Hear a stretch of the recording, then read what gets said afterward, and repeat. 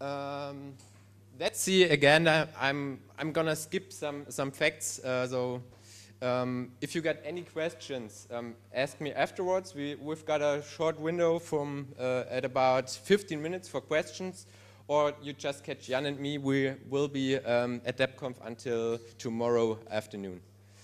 How LiMux got started. There may be differences in what you already know. Uh, there are uh, press reviews or uh, reports all the time. Munich does this, Munich does that.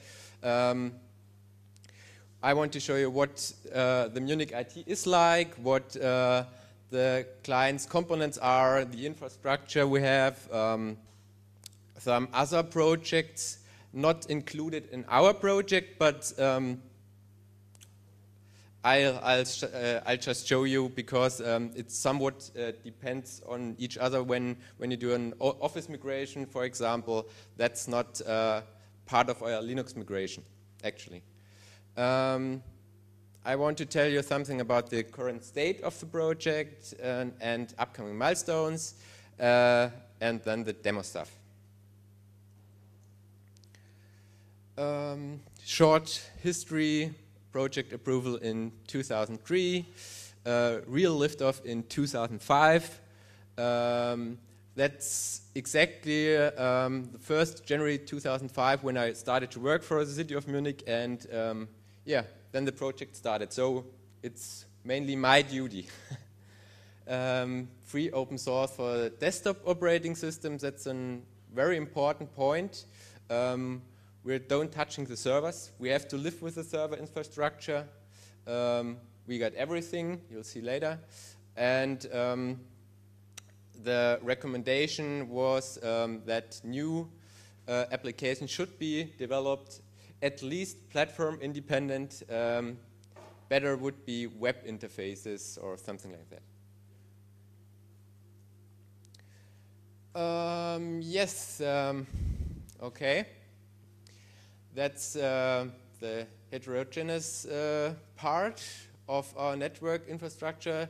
Um, we got 14,000 PCs, 16,000 users, um, some Windows NT 4, Office 97, 2000. Uh, others uh, need, needed uh, to switch to Y2K, uh, W2K, and Office 2K. Um, we also bought some uh, used licenses uh, where um, some press agency reported that we're migrating to uh, W2K. I don't know why. That's some strange thing. Um, we got uh, at about 170 special applications that we have to uh, have to take care of. We got 300 common software products. Um, which are available, available through the whole city of Munich. Um, we got almost every file service imaginable. Um, and um, yeah, the vendors too, of course. Um, many different uh, products for system and config management and installation. Um, image-based uh, um, installation by, by shoes, where the administrator goes to the uh, worker and install, it just uh, puts the CD in the um, CD-ROM. Um, and various uh, MS Office-based solutions for template and boilerplate management. That's that uh, nifty solutions everybody has to do because he doesn't get his favorite program, so he does it by a word macro or something. Um, yeah, um, what's very important is that we are not um, not the ones who say you, you got to set up this client, we're just developing. We are supporting and developing. We're, we're doing second and third level support, but uh, the departments, for example, the KVR, uh, which is uh, giving the passports out, uh, has its own IT department, and um, they're installing and administrating their clients and servers. We have nothing to do with that. We're just supporting if they run into problems or something. Um, 17 organizational units um, with their own IT. Um, 350 overall IT staff. That's not us. That's that's the whole IT staff from the city of Munich.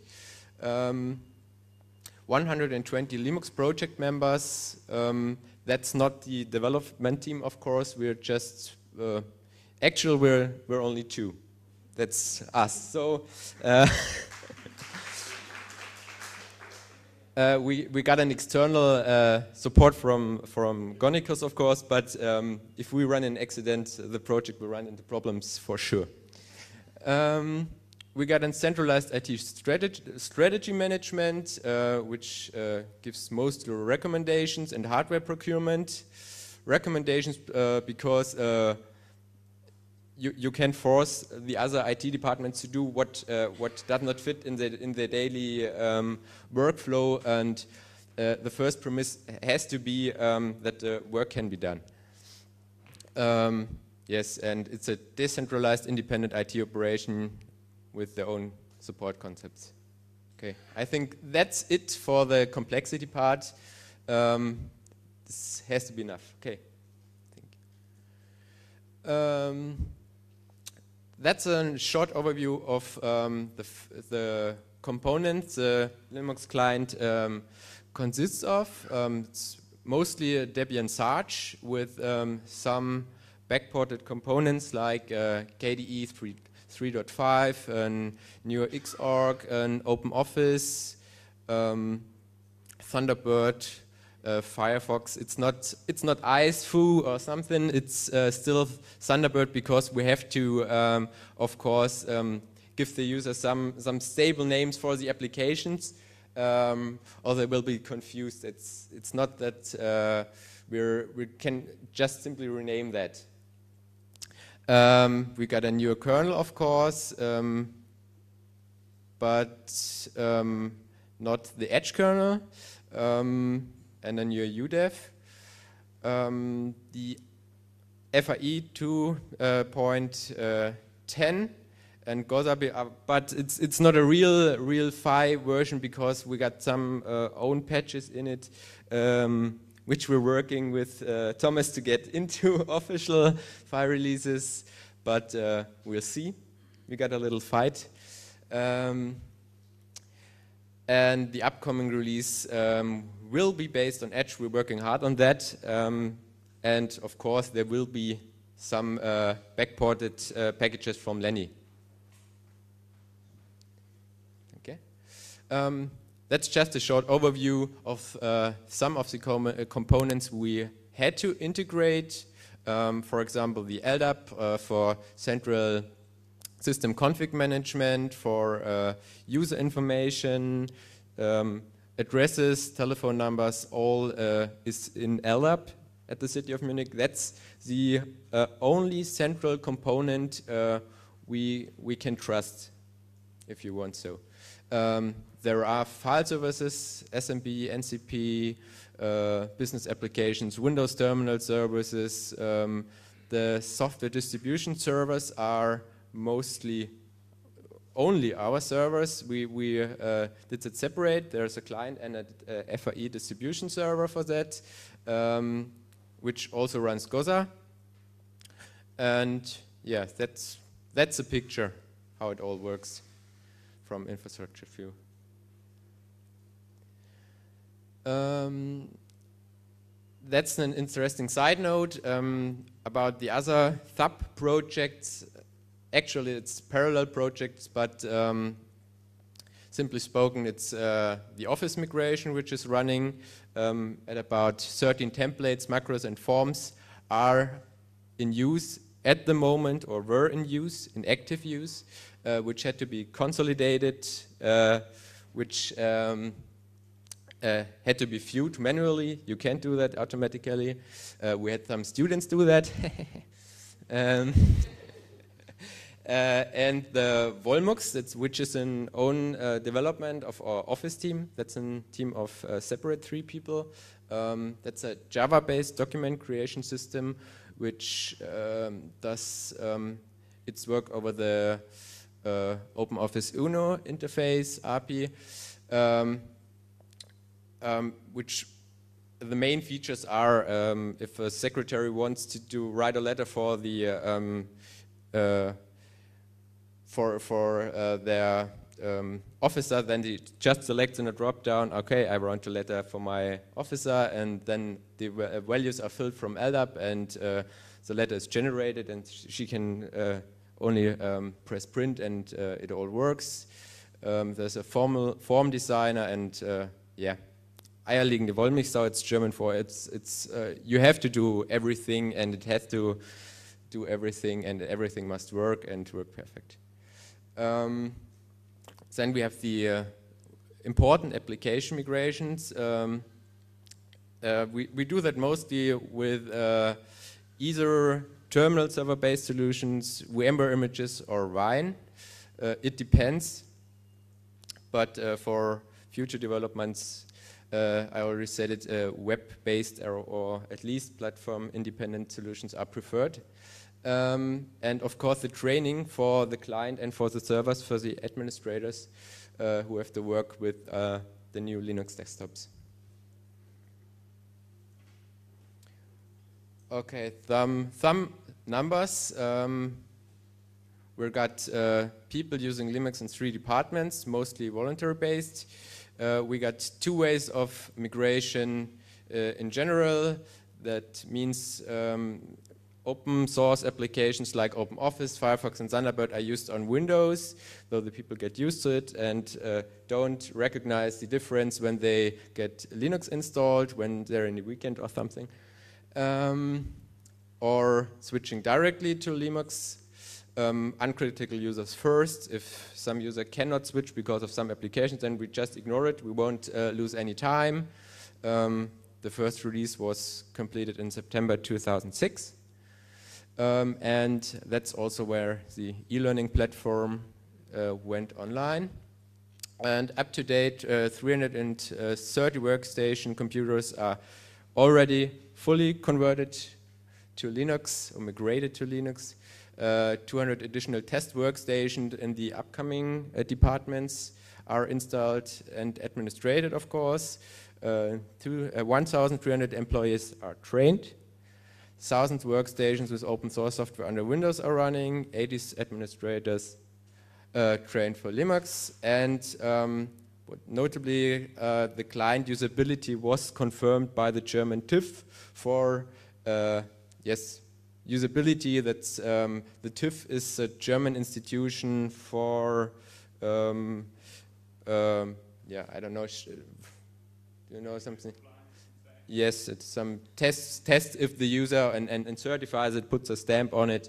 Um, it costs money for a stamp, okay, but um, it's it's uh, definitely important for marketing, for internal marketing also. Um, and we received um, the European e-learning award earlier in 2007 for the e-learning platform. And we want to migrate, have migrated 2,000 workstations to Linux in 2007. Okay, that's for the boring part, and now we're gonna demo it, um, real installation. Uh, Jan has prepared some VMware images, images to show you. Um, so I hope it all works out. Have fun.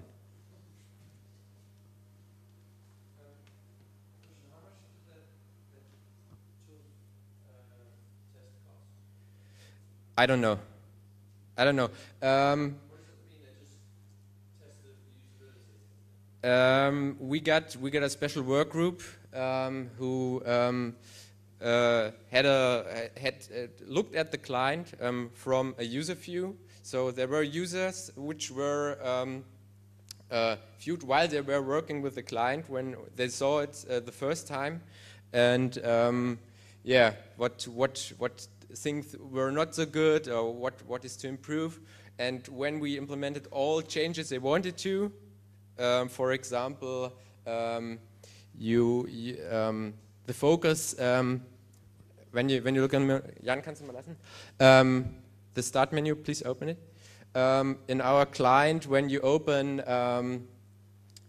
the here, here the, the bureau programme, what's called office tools, um, then you don't get open office org, you get uh, office writing tool or something. So that's a simple example how you aid the users to the right programs even if they don't know it.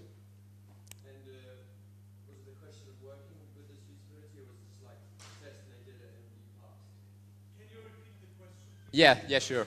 Um, the question was if we just uh, implemented the changes and uh, there were no additional review. Did I get it right or? Yeah. Were you working with them or was it just? Yeah, sure, sure. Uh, there was a special work group for that. It's a uh, pretty important point. Um, I guess um, from my mind, it's it's it's about 60 percent of the whole project budget went into um, in, into e-learning and, and, and learning for, for uh, administrators and users. It's not the development which is the big part. But I, I think we, we can take the questions afterwards. It would be great. Um, okay, then I'll give to Jan. Okay. Um, yeah, what do you're seeing now is the uh, first logging the administrator is seeing when he's logging into the yes, what we call a depot server, which means a software depot where where all the installation is running from and where all re releases are lying. So I just do a logging now.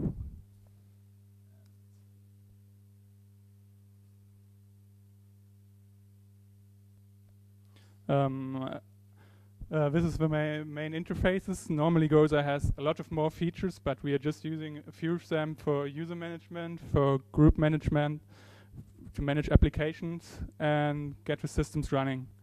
And a very special uh, plugin we were developing in the last one year is the FAI integration. So you can do a, a Debian FAI installation from LDAP uh, directly from a web interface.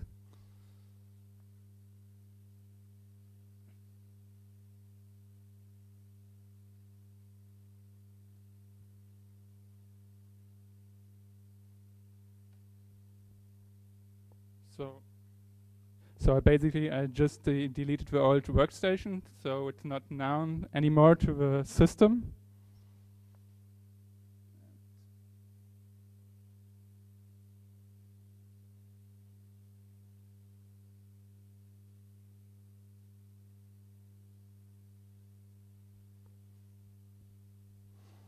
So uh, that's normal stuff. You have DHCP running, you have a PXE running, and now it gets a configuration file from the server,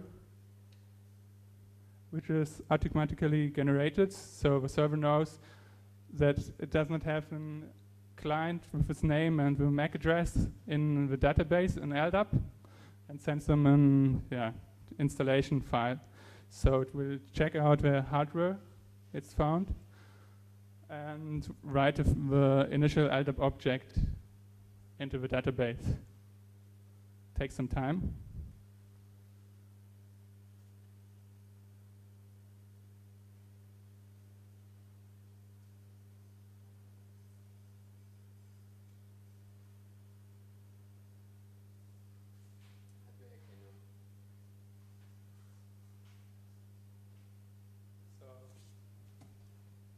Okay, it's, it's not internationalized, so there's just written that there's the hardware detection running.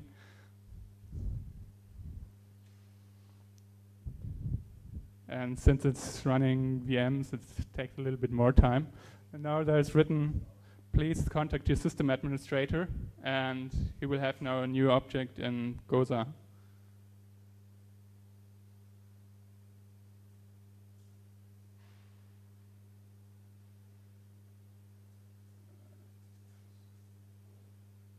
So, so there's a new device now.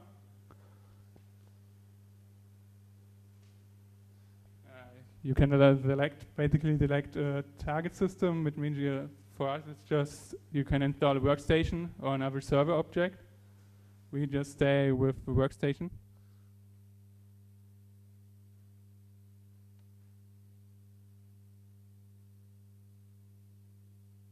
Okay, the, the first thing is you set the installation mode that you activate the system.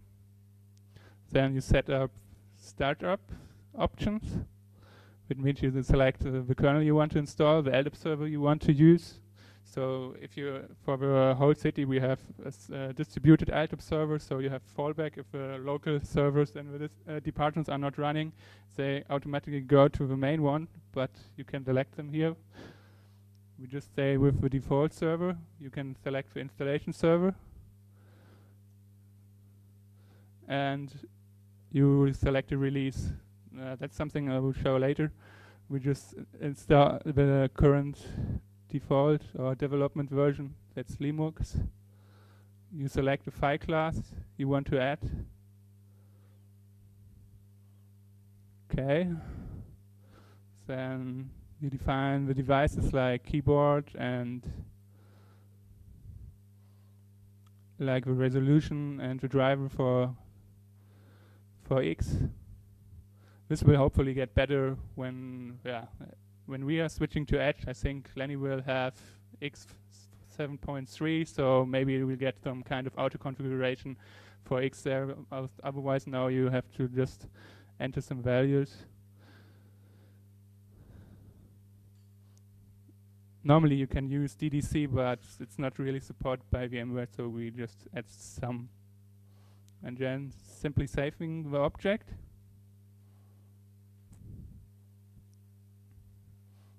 And you can can see that okay, the, the picture is not that good. The configuration is running now. It generates from the from the LDAP information. It generates the FAI config space. So it's basically dropping all the required LDAP objects, which make this installation into pla uh, plain text files.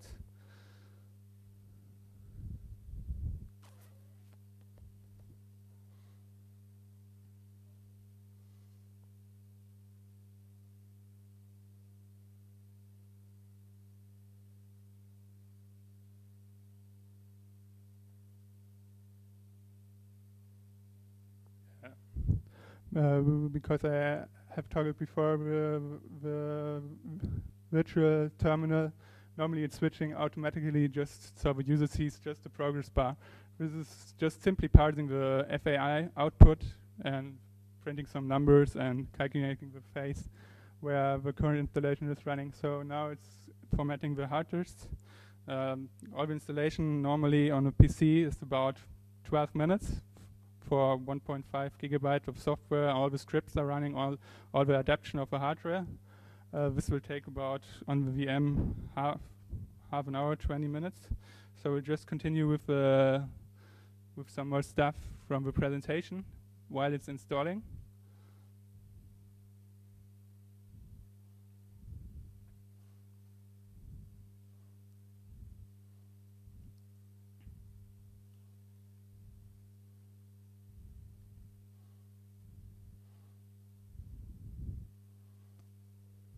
So what you can see, what's different from a normal installation with FAI is first you have the DHCP request and a PXE.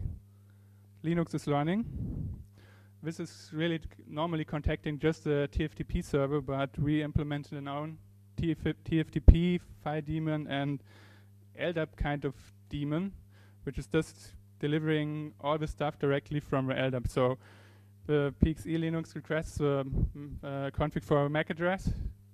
The daemon looks that up in the LDAP directory, generates on the fly the configuration file and delivers it to the client. So you can just manage your whole clients in the LDAP directory. This is really running on the on the fly. And after that, we have a special uh, hook. It's uh, it's the only hook we are really using from FAI which just uh, is called the config hook, which normally gets your configuration from an SVN or from an external server. So what we are doing is simply we we're running a tool LDAP2FAI, which drops the configuration based on the client classes and releases. And while the installation is running, it's normally sending to uh, status updates to FAI monitoring daemon. We also catch that and write those status into LDAP so you can see if uh, installation is running fine or if there are errors or what's going on. So what are the main uh, changes we made to FAI and all this stuff is yeah, we, we switched from normal IPs status configuration to Mac based um, because that uh, for us is much easier and for in the LDAP we use the Mac for as the main information and identifier for our systems. Um, we added uh, init RAM FS support So we do not use the normal FAI kernels which are distributed in Sarge, but we use one kernel for everything. So the kernel is running the client, the kernel is running the servers, and the kernel is running the installation. So you do not get problems when with different kernel versions where the installation and the configuration doesn't match.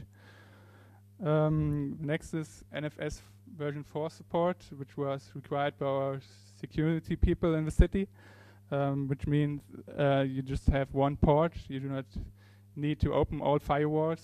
You just can use the, I think, 2049 port for NFS 4 and everything is going over that port. So that's hopefully a little, for them it's much more secure. Um, yeah, then uh, there's this enchant FileMundi, you can say, which do the TFTP and PXE, and the status updates in LDAP. And yeah, the, the dumping tool to really dump our release informations and file informations on the local disk. And the, this little tool which just parses the FAI output and prints some progress bar. So basically for us, we have developed uh, five main FAE, FAI classes. First class is really the client, which means the basic system, which is normally installed for all the people in the uh, in the city. Then there's a little enhanced version of the basis client, which just has some more administrative tools. We call it admin PC. Then there's a special functionality because first we thought, okay, everything is in LDAP. What is the best way we get an installation which can run without an LDAP server? Obviously, there you could just create all all the files locally, which from the LDAP information, um, but that would be a, lot more work because now the user management and everything is connected to the LDAP. So the idea was simply create a caching feature, which just uh, when the user logins creates a cache for the machine and the user. And so you can, after the first login, you can simply switch off the net and the user login will run fine for uh, even without the network. That's basically used for for telecommuters, which are just not working most of the time in the city and are outside of the city with notebooks. Um, the most other interesting class is really the uh, depot server, which means it's a, a, complete server running GOsa, running FAI, and having all the release uh, repositories.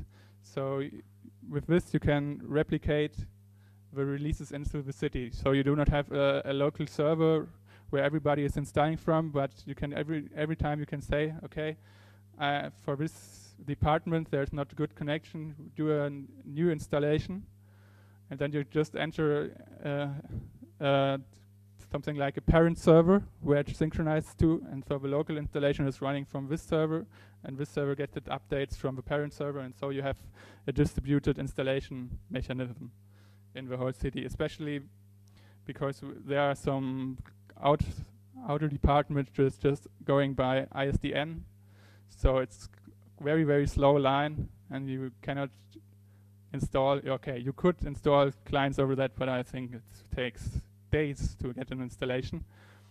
Um, um, what you can also do in GOsa generally is just create a, a CD from a FAI configuration. It means to just go to the go to the workstation, say, okay, I want this installation in a department which does not have a network connection, probably, and you get a CD and it puts a CD or DVD. Okay, for us it's a DVD because a lot of software, and you get a running system. Okay, we have talked a lot uh, or mentioned a few times the Go GOsa system. For everybody who doesn't have uh, does not have heard of it, it's basically just an LDAP management tool. So what you can do, you can really manage a lot of stuff like users, groups, you can manage applications, uh, you can manage your systems um, with FAI, what we did, and you can uh, combine systems to call object groups. There are a lot of more plugins available in the internet, just check out their homepage. There's a lot of Okay, maybe not a lot, but there's quite some documentation there and how to set up GOsa running on your own PCs. Okay, let's see if how much the installation is running.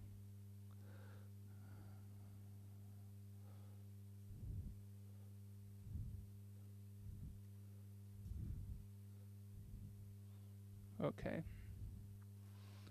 It will take some time, some more, but there's second, there's a pre-installed client, so if it's now at 30%, I think it at least would take an hour, 20 minutes, I don't know. So I will simply kill it and use the pre-installed version.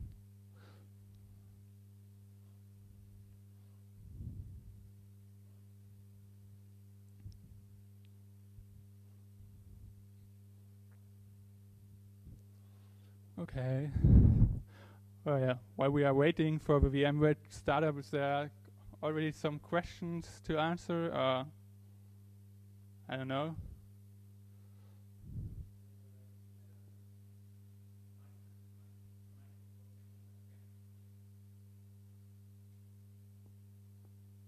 Um, are you doing? How are you doing updates and migrations and that sort of thing?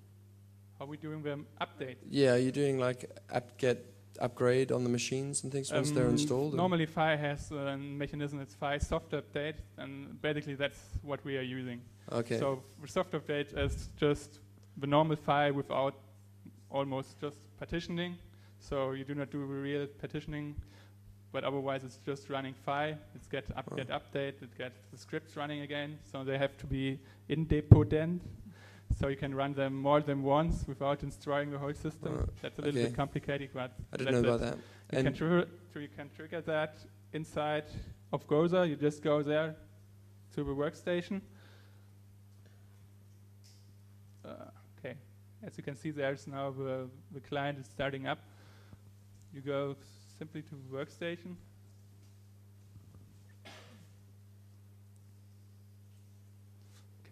Too much stuff for a little notebook. and you're going to do migrations to the next version, you, you, know, from Sarge to Etch, using the same upgrade tool? Um, to Etch, I'm not sure if that will work. We're just checking that out. Currently, we are just first uh, porting our stuff, but normally the installation is 12 minutes. So if you have really an incompa incompatible version where you cannot do the simple soft update, you just say, okay, install it with PC. Because we, what we are doing, we have kind of mechanism for roaming profiles. So when the user logs out, the whole home directory is copied to the server.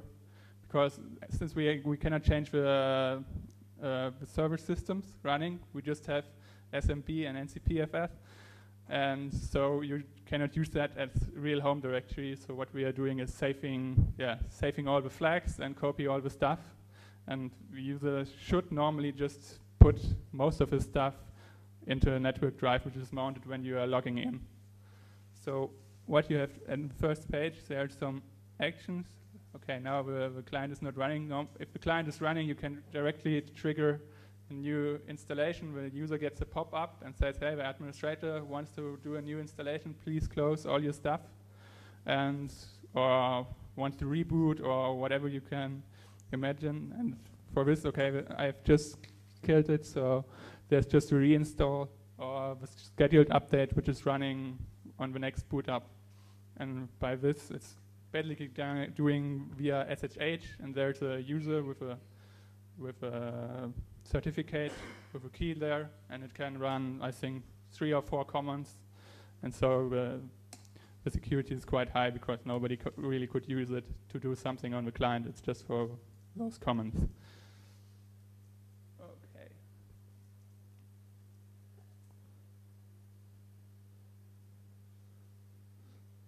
So yeah, now this is uh, the login screen. since it's just 800 600 pixels. It's a little bit compressed, but that's basically it. And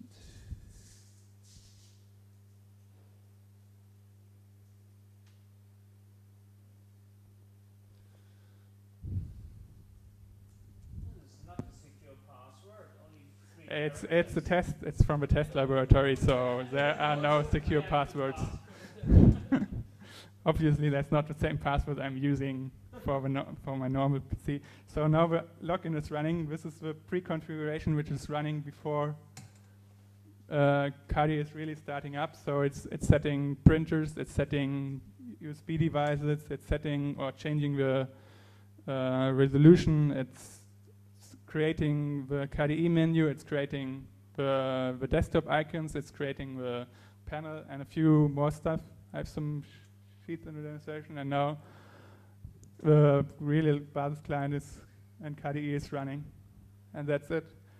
So ob obviously everything was configured a way that it looks like Microsoft.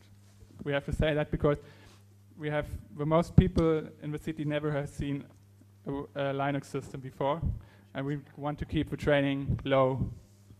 And actually, we have also already spent, or we wanted to spend already half of the money for the training, and while do this configuration, we, we even could keep the cost quite low. So there's not really something you would not expect from anything. It's just plain KDE. There's the, the only difference is that the menu is just generated when they log in the application configured in GOsa. So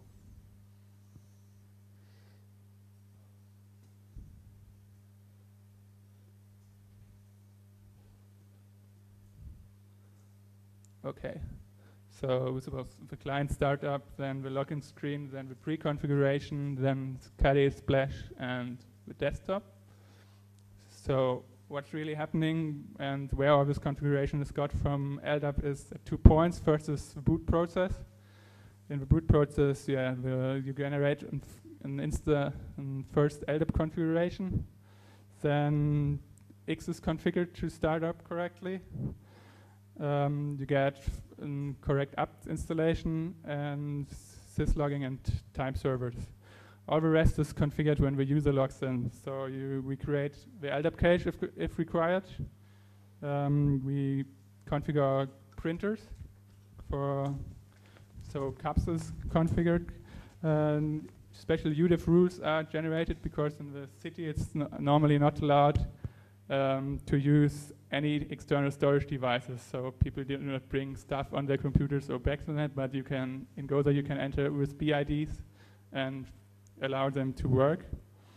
Then you have all those shares mounted. You get the a special kiosk profile, which configures KDE and allows the users yeah, to have a shell or not and different stuff. You get thinking of a roaming profile, um, there are special locking scripts we can you can assign to the users, and at least you generate the KDE menu and all the application for the system. So yeah, that's a that's a really short overview. Uh, the administration yeah book it's or yeah, you can say really it's a book for, for the normal administrators in the city just to get some introduction stuff is a few hundred pages already. So it's nothing you can yeah, just show everything in, in an hour. And we just have, yeah, I don't know how much time is left. Few minutes are left. So basically we have 10 minutes to go and answer some questions. And yeah, bring, you want to bring the microphone over? Yes. It's, I think it's easier sure. than. yeah, you, you mentioned during your introduction that you began with uncritical users. So could you give you give us a more accurate definition of what are uncritical users? Uncritical? Okay, the, cr the, the, critical part is not the user, it's uh, the application the user is using. Um, if you uh, corrupt the workflow, for example, for uh, getting passports out, you get a problem, of course, because uh, people have to pay for their passports and they don't want to spend five hours waiting because uh, the Linux client has some problem with some application. So that's a critical uh, user, if you want so. Okay, uh, my question was more about strategy for deploying such uh, disruptive changes.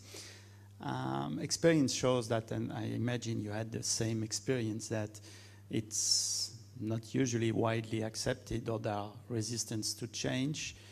And what I would define myself as uncritical users, and the first one to start with, is upper management.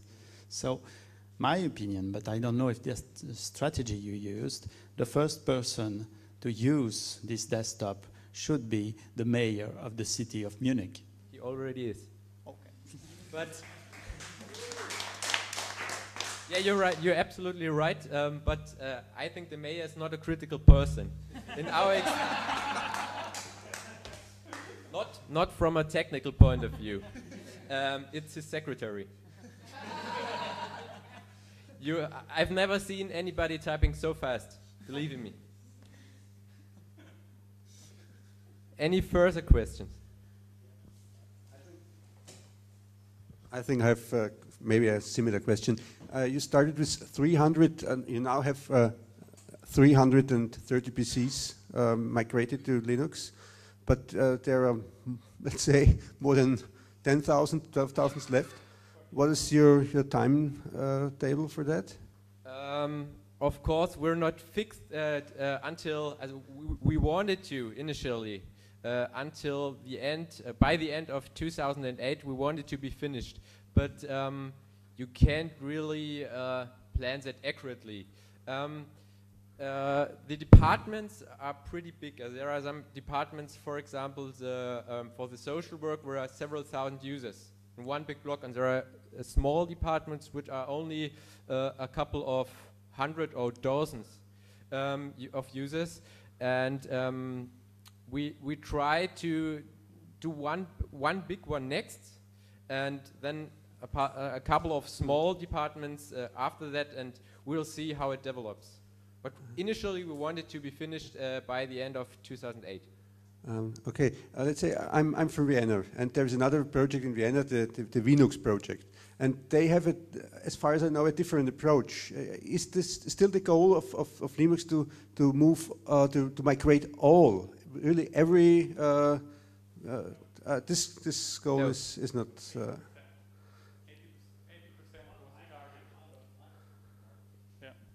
The, the, target really was to migrate 80% because there are some 3D software running for or ge geological special software which we will never be able to really migrate. They won't work. So the target was from our 14,000 PCs, you know, migrate about 12,000. Uh, okay, and it was so 80%. For, for the end of the year, I think it's really manageable to do the first 2,000 because currently in all the departments there are tests running. And if the tests are completed and the people there and the administrator say, okay, all my requirements are met and I can really do the rollout, then it's quite fast because you just have to say, okay, 15 minutes for the first 10 PCs, then next 15 minutes for the next 10 PCs. So after that, it's quite easy. But the work before really doing the rollout is quite hard because there, there was one year of planning actually to say, okay, what are your requirements? And and currently we said, okay, all the requirements are met, and the people are coming and saying, okay, nice to have this, but I also need that and that and that and that. And I have this vendor which cannot, which doesn't give out Linux version, even if it says a year ago, okay, no problem, there will be one. And yeah, this is the main problem with it. Um, and you also mentioned the usage of, of VMware. Is this uh, an option for uh, for a larger scale? It means that more than uh, a few users will use uh, Linux as their first desktop, that's a primary system, and uh, VMware for special applications. or is this only a um, how we call it uh, for few cases? Uh, for us, it's mainly for really a few cases because normally you have to deliver the whole image, and this is quite quite large even for installation, and you have to have another license. So it's not really an option. Most of the time, we tried to to use it uh, wine, and we have some yeah, external company who's helping to adapt the special software to Wine and get that running.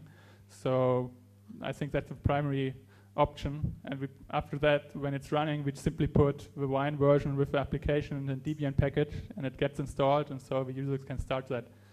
That's, I think, the main progress.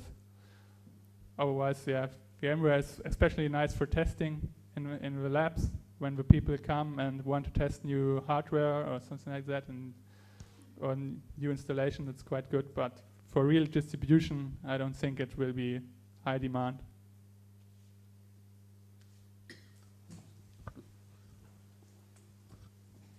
Uh, will there be a license change for WollMux? It currently only allows debugging and development of OpenOffice. Yeah, um, uh, there's the license. The license. The license. It says on the web. Uh, the city of Munich gives you a license for installation and use of the software solely for the purpose of OpenOffice or debugging yeah. and development. Yeah, there's uh, there are a few I can say legal problems because now what the main problem is that the state uh, how to say that the state is not allowed to real to be concurrent to any company. So if we re release something, and the, the next hairdryer is saying, okay, if you give me that much money, I could do the same, the state would be in problem. The people are figuring out how to release the stuff, but those versions from WollMux in which are distributed are mainly there because we found OpenOffice problems which were crashing OpenOffice from Volmux. And so we put that out so the developer can really test that, but well, we will see. It's not, we were, we are asking a few times if there's some progress going, but yeah, it's not our position to release anything. So that's something, yeah, I think it's little bit poor management, but we cannot do anything about that. And actually we have already 250 changes in our change management for the next few versions, which somebody was calculating would take us 17 years to to implement. so, yeah, I hope that there's going some progress, but I don't know. Do you actually get free software developers to look at your stuff when you license it like that? Wouldn't that be like a complete blocker to get the OpenOffice developers to actually look at the uh, the files you provide when you are limited, limiting it uh, with that license? Um, uh, we actually don't want to limit it. We're, we're just not uh, clear what the license could be for us. Uh, we definitely want to give it out, um, while um, we're at the moment mostly documenting. So um, the decision from the upper management how to give it out um, is not that important at the moment. So because we're just documenting, you you can't uh, you can read the source, of course, if we give it out, but uh, you will have problems in getting it running without a configuration, examples, and stuff like that. Well, did that answer I'm a free software or did I get it wrong somewhere? I d I don't think you understand the problem. Uh, I'm a free software developer. Yeah. And I'm very careful with the license of the source I read because if I'm not, I might uh, have a few lawyers visiting my house to mm -hmm. do nasty things to me. Sure. And uh, because of that, I would not read the files you put on the web with that kind of license because then your lawyers might show up at my house to do nasty things. So that's a real problem. If you actually want free software developers to look at your files mm and fix the software bugs that you have discovered, that license is not going to work. Okay. Yeah, I understand the problem, but um, um, also that's that's the case for the for the WollMux, not for the uh, client part and the FAI part, because we're we're already based on free software. We gotta give it out somehow, and you can uh, have a look at it for sure. We have to provide you a look at it, and you won't, as, as far as I understand the GPL um, you have to and you won't run into any problems. That's, that's what the GPL is for. Um, another thing is the, is the WollMux. Um, I don't know what license it will be, but I do know that uh, the lead developer is very engaged in that, um, in working at the draft at the GPL version 3, and um, he will do everything to get the right license for the product. I don't know what it will be. Sounds good. Hi, so um, I'm doing s- very similar things at the institute that I work at. Not nearly as sophisticated as the stuff you've got here yet, but similarly, I'm using FAI to install desktops and blah blah blah. One of the issues that I have, and I'm curious to understand how you've addressed it, is like you, I having I'm having to deal with a mixture of um, Linux desktops that I'm administering, and there's the Windows desktops that the Windows guys are administering they're all on the same network. So mixing together, getting, and we really want a single centralized PXE and DHCP setup. I don't want to be maintaining separate things. And I'm sort of curious as to how you've approached that particular problem. Have you, uh, have you got sort of, does everything PXE boot off the same server and you have, is GOsa managing whether something then actually boots off a Windows server or a Linux Um, server? In fact, we have uh, not addressed this at all. We're, as, as I said at the beginning, we're, we're developing and we're giving out recommendations.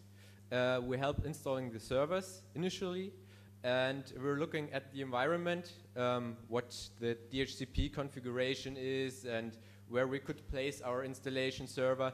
But uh, it's in fact an, the, the duty of the departments to get it running. We're, we're supporting that, of course, but um, as you may have seen, we have a very, very heterogeneous uh, network, and um, yeah, of course, we got problems. We got uh, problems with uh, Novell 6.5 DHCP servers, which uh, have a bug in um, broadcasting uh, D, uh, PXE, uh, TFTP boot file names, boot image file names. Um, there are Unicode signs in it. I don't know why, but it's definitely a bug. Uh, no one knows about it, but they, of course, don't uh, do anything. Um, yeah, we, we got problems. We, we can't address that. We, we have to look at uh, the picture um, uh, when we visit the department, for example. So do you have people using LANDesk as well? For sure, but I don't know them. Uh, We, we got Oh, okay. everything for sure. Uh, I don't doubt. But uh, if you got uh, a special question in that direction, you're always welcome to write them via email. Yeah. Either to, to me or Jan or uh, the central email address. Any other questions? I have a bunch of questions. um, you, you call Li- LiMux a distribution. Does that does that mean you like you rebuild all the packages? Or you, is it a Debian derivative more so? We rebuilt not all packages, but uh, yeah, uh, the the backported ones mostly. We, we built it for us uh, because uh, we wanted to be sure that it worked. Um, so it- yeah, we, we, we did not build all packages. We, we of course Okay. just uh, Sarge base and then Yeah. the, the work came. And uh, I was going to ask, like, productivity of people who are using these Linux desktops. Is is there is it better than Windows? I mean, is there any like tangible benefits besides using free software type stuff? Uh, you mean if they work more effectively with uh, Something like free that. software? Okay. Yes, if you give them more coffee, they will do. I don't know. Uh, but Uh, basically, people are just saying we have some information days every half a year where people which are not using Linux in their department can come and see some some installations and can play with it. And normally, the people are just saying it's not really different. It just feels like, yeah, like Windows, and that's what we were really targeted for. So we do not have to bring, yeah, bring uh, train a lot of new stuff and yeah, I don't think it's more effective or less effective. It's just most the same. My question's related really to that one. How much training are you giving per standard administrative type user? And once it's been given and they've gone back to use the new desktop, what evaluation on that training are you doing?